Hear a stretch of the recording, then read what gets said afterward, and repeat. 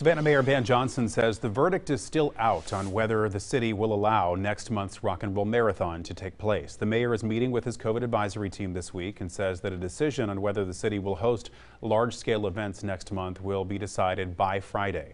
Mayor Johnson acknowledged that the community COVID transmission index continues to go down, but he says he isn't ready to risk the safety of citizens at the expense of one weekend event.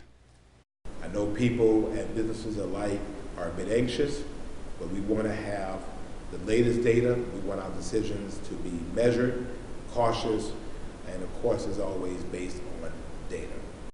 And Mayor Johnson and the Savannah Police Department are requesting that trick or treating be taking place takes place on Saturday, the 30th, instead of Halloween night, which is Sunday the 31st.